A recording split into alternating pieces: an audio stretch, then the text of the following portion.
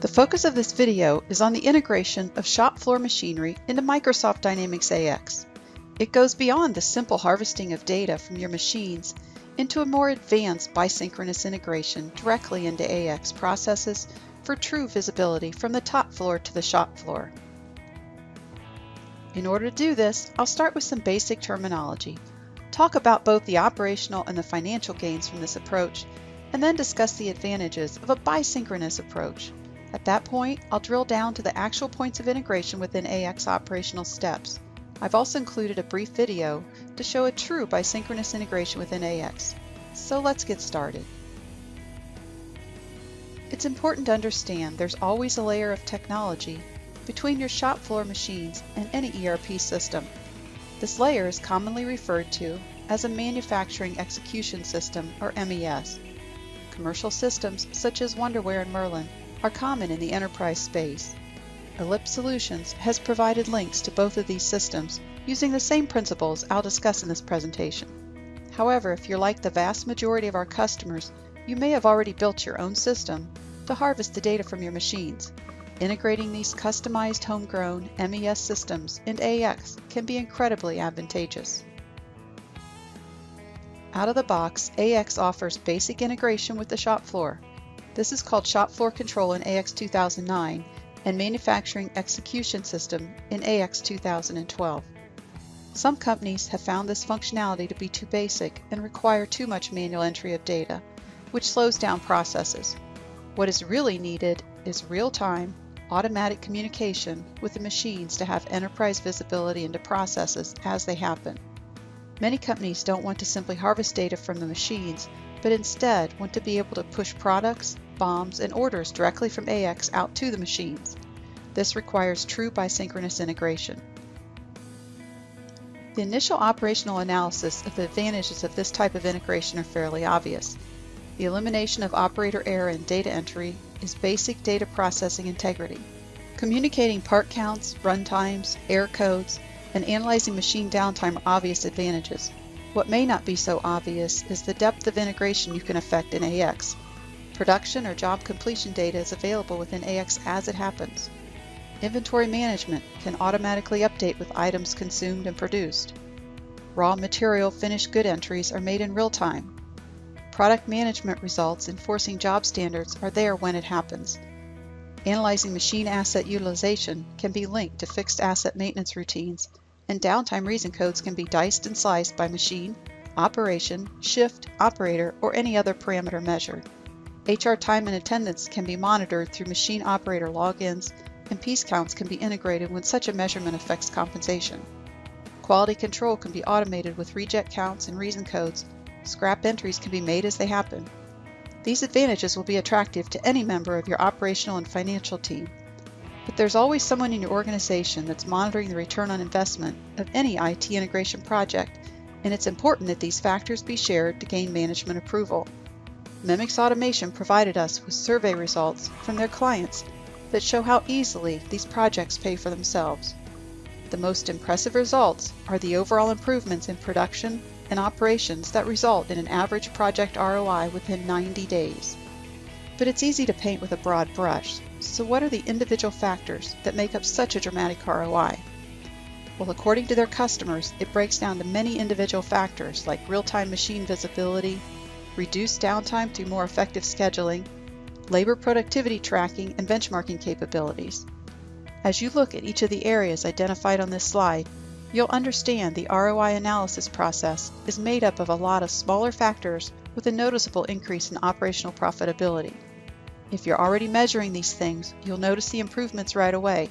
If you're not, you'll be glad to get started. Most companies we meet began by initiating a simple, one-way data harvesting integration with their shop floor machinery. While this is a great first start, it usually involves reconciliation of two different planning and scheduling process tools. It also implies a communications gap when BOMs or job cards are modified for a specific order on the fly. A true bisynchronous integration allows for a single version of the truth across the board. No more reconciliation of production orders or job cards. A single scheduling tool can be used, and production orders can be reprioritized in real time from the top floor to the shop floor.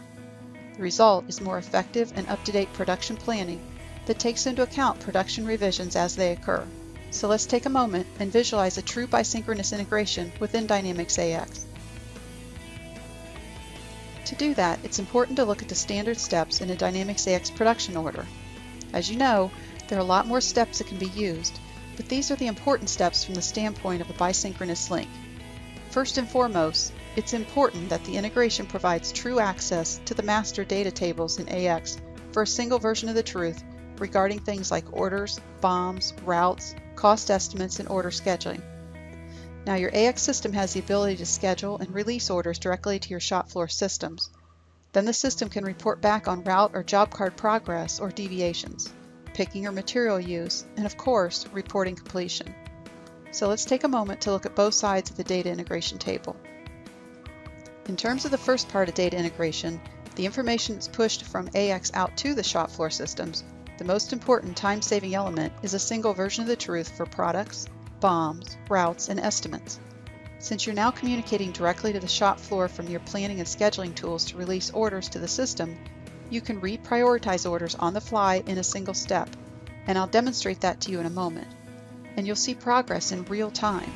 The single source of data eliminates reconciliation and allows you to roll out revised BOMs or routes in real time, and new product rollouts to the shop floor become much simpler. The second part of the bisynchronous link, which pushes information from the shop floor machines back to AX, allows you to watch orders progress as they occur. Route and job cards are updated in real time, and more efficiently pre-approved BOM substitutions are booked as they happen. This return information also allows for updating of inventory tables, cost tables, automated finished good entries, as well as the HR, payroll, and fixed asset entries we discussed earlier.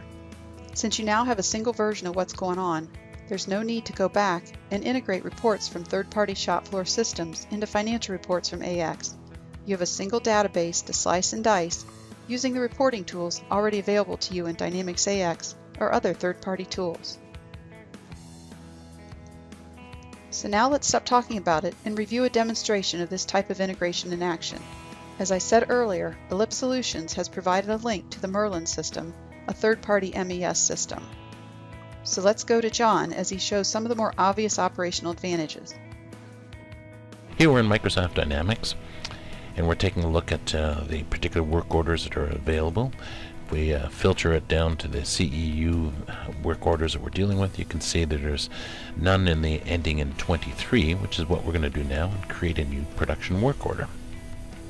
So production order gets uh, established, we create the dialog, we key in the number 23, we then do a search on the particular item ID, we pull that one up directly from one that we want to produce, and it comes up to automatically the, with the list again through Dynamics AX part of the product standards. Standard uh, lot size of 5 to run with this one. We create the production order. And we now it's know it's part of the list. So we're looking at all production orders. If we filter that down to the ones we're looking for we're going to find our particular work order that we just created.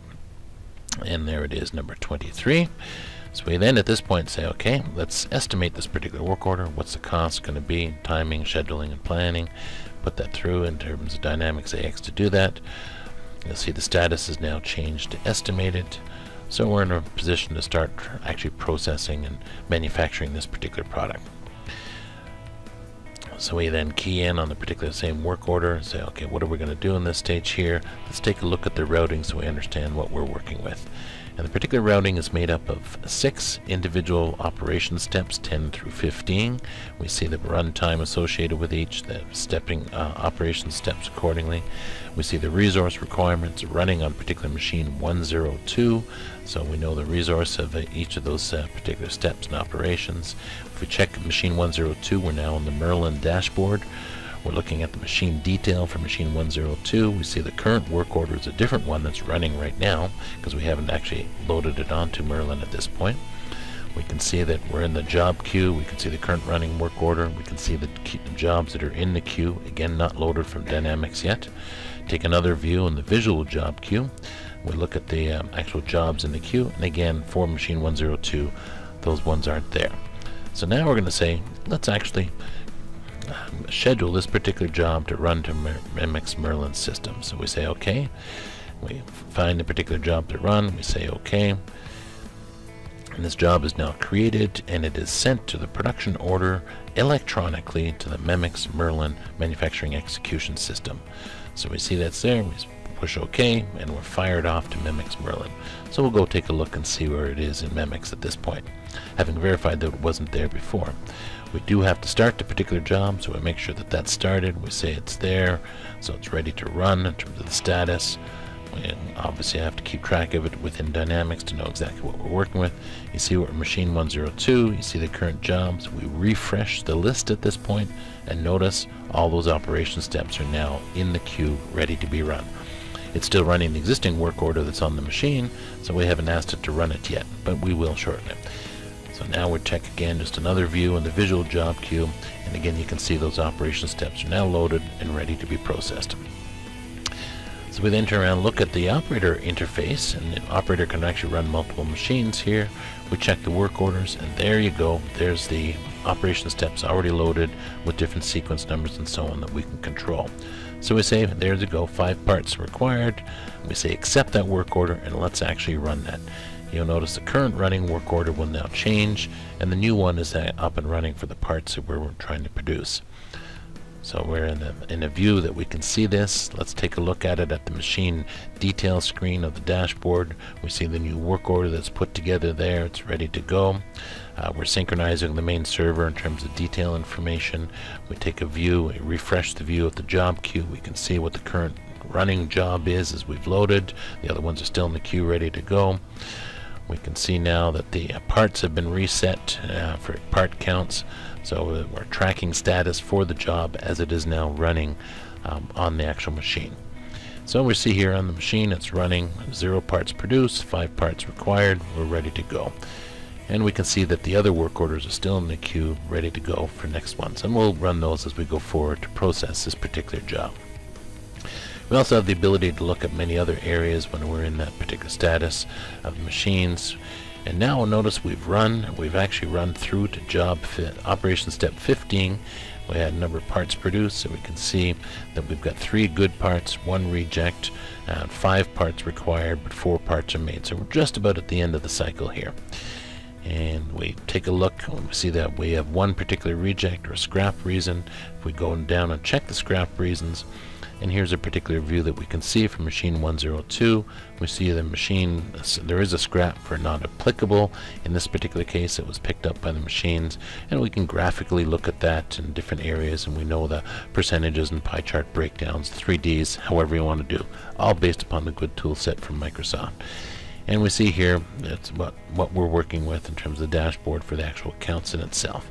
Notice we're in production hold. It's just in the process of changing over to the new job. In fact, as we watch here, we can see the job has actually changed over and we can see the new particular work order it's running so the last one is complete in the real-time screens we now go back to Microsoft Dynamics and we say let's view for that particular work order what the results were. So what was reported as finished that came from Memex Merlin. And we can see here we're pulling up the particular lines and the detail for that particular job. And we can see here now that that job has been completed, reported as finished in Dynamics of a good part of one and a reject part of, sorry, reject part of one and a good part of four, exactly as what we reported on the Memex Merlin system. So we've gone through and shown a two-way link downloading production orders to the machines and then the results from the machines back into the uh, Dynamics AX ERP system. I hope that video helped you visualize the possibilities in a true bisynchronous integration. To summarize, let's go over some of the key points to remember. Many of our customers started out by telling us their shop floor machines were too old for such an integration. We have a partner who specializes in retrofitting just about any machine with a port on it, so don't let that slow you down. Also, please consider the licensing implications of this proposed integration scenario. The entire integration can be done using a single enterprise user license in AX. There's no need to extend licenses onto the shop floor machines as with many other systems.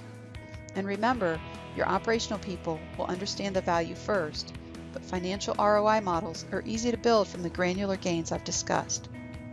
And if you're going to take the time and expense of integration, While you're already under the hood, remember a simple one-way data harvesting solution provides minimal operational advantages. A true bisynchronous link is the way to go. We suggest to most of our customers that they start with a single production line and roll out the system to other lines for user acceptance. This also gives your internal resources time to learn and add value. If you have any questions or need help with your integration project, reach out to us here at Ellipse Solutions. We have the experience you need to succeed. We've provided links to Wonderware and Merlin Automation, as well as have vast experience with a variety of custom shop floor systems. We can certainly help you do it right the first time.